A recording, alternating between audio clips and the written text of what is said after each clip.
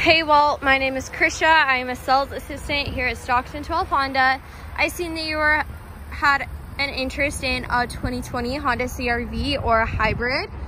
The CRV is all-wheel drive while the Accord is not. It comes with a backup camera. It gets around 29 miles to the gallon. It comes with Honda sensing, push button start, remote start, and a power moonroof.